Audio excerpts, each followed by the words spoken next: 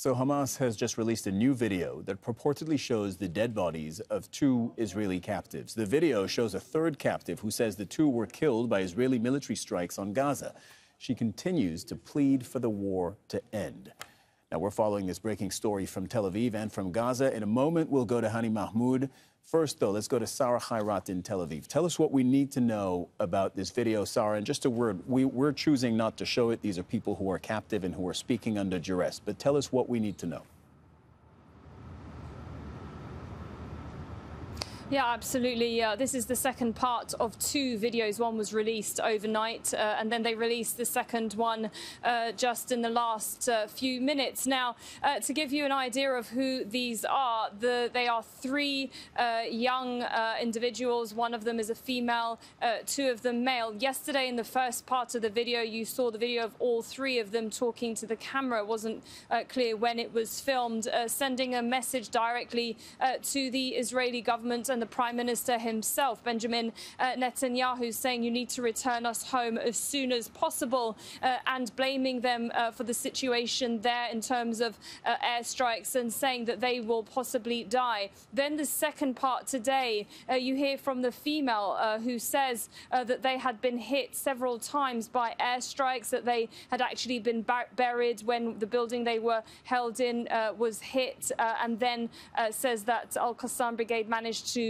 uh, take them out of the rubble. And it was when they were relocating, uh, one of the males was killed, and uh, second, and also the third one um, say. And then at the end of the video, you see that they are uh, dead. So uh, it's going to be incredibly hard for the families mm. to see this. And if anything, uh, let's remind you that yesterday was 100 days. The kind of language that was used at that rally was very different to what we've been hearing. We heard not just from the families families of those captives, but also from uh, those that have been involved with helping them and supporting them. Now, uh, we know that some of the families of those captives were visiting Qatar about last week, and they mentioned this yesterday, saying that they had spoken to the Qataris uh, to ensure that more was being done, and almost really reading between the lines, uh, saying that it's because of us taking matters into our own hands we managed to secure this deal where medicine should be delivered through the Red Cross. This has been agreed on. It hasn't happened. But this is only going to up the pressure on the government and certainly very painful for the families to see this video. Absolutely. And this, I assume, will further reveal what is right now a fault line uh, among the Israeli decision makers within the war cabinet on what Israel should do now and what is the best way to secure the release of the hostages. Can you talk a little bit about that?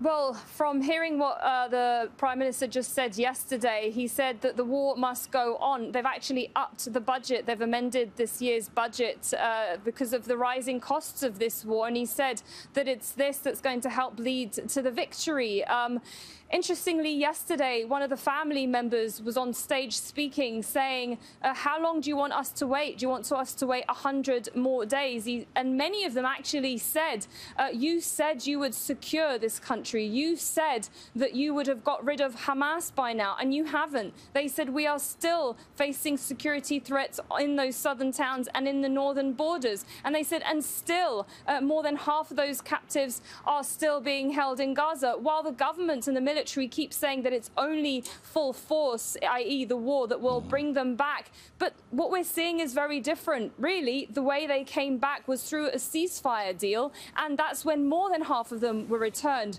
Uh, so, speaking to some of those in the square, we asked them, we said, Do you want a ceasefire? They said, We want an end to the war if this means bringing them all back. They said this has taken far too long. They actually really thought that this would have been under control, and it, it's become a lot more complicated and certainly no movement on another ceasefire. And in terms of the government, well, they are still going ahead with this war, and they've said that it will continue for the rest of the year. Cyril.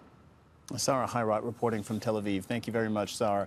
I want to bring in uh, Hani Mahmoud. You're joining us from Rafah in southern Gaza, Hani. So, with this video release, we're seeing Hamas use what is possibly its most effective tool to put pressure on Israel, Hani.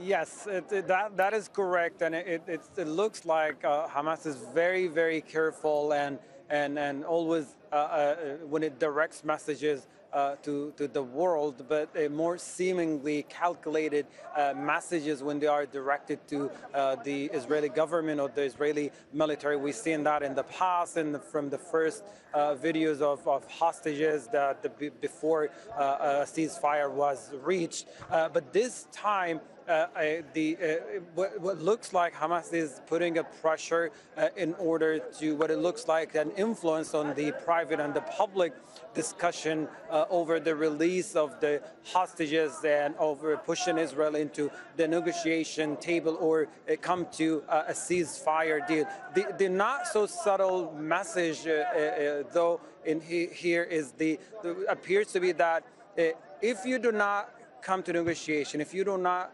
get to uh, a ceasefire deal and then into this aggression on Gaza and into the mass killing of Palestinians, you will also be killing the hostages. And I think that's the, the punchline uh, that is directed to the Israeli public. And it just, it goes, it happens to be a, a, a, statement made by uh, the uh, the Israeli Defense Minister right after the the video was released and the catalog a, a few of the points, the primary among them, the fact that the the military operations in the northern part of Gaza has come to an end and soon enough will be completed in in the southern part. And there seems to be a link between the pressure that has already been uh, uh, put uh, uh, on the Israeli public just to push the negotiations further into reaching a, a, a, deal, a ceasefire deal. And we just heard a, a report coming from Egypt that it was uh, given a green light by the Israeli